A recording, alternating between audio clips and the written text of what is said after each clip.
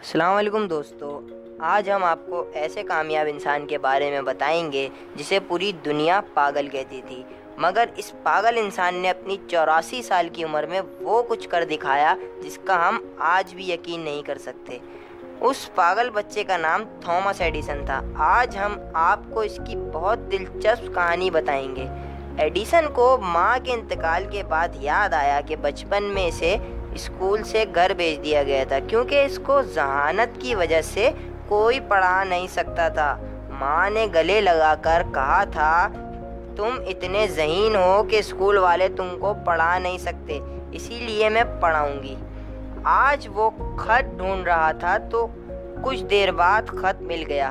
उस खत में लिखा था, आपका बेटा कुड़ मगज है, इसे पढ़ाया नहीं जा सकता, ये पूरा दिन क्लास में सोता रहता है। और टीचर की भी बात नहीं सुनता। लिहाजा आप इसे अपने घर ले जाएँ, ये कभी आगे नहीं बढ़ सकता। साइंस की तारीख ने लिखा है, दुनिया में सबसे ज़्यादा ईजाद करने वाला ये पागल बच्चा थॉमस एडिसन है। इसने अपनी उम्र में बहुत सी चीज़ें दरियाफ़ की, मसलन film camera, phonograph, film recording, electric pen और आखिरी बल्ब। जिसको आज पूरी दुनिया इस्तेमाल करती है।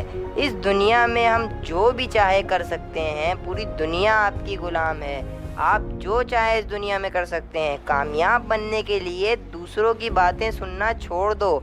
अगर आपको सक्सेस पानी है तो रेडी रहो। सब आपकी बहुत बेइज्जती करेंगे, लेकिन आपको उनकी बकवास सुन के आगे निकल जाना है। और आपने उनको यकीन दिलाना है कि आप हर वो काम कर सकते हैं जो आज तक किसी ने नहीं किया।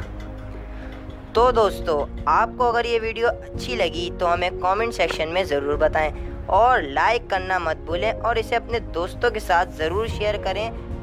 और अगर आपने आपने इस चैनल को सब्सक्राइब नहीं किया तो कर दें और बेल आइकन को भी दबा दें ताकि आने वाली वीडियोस की नोटिफिकेशन आपको मिल जाया करें।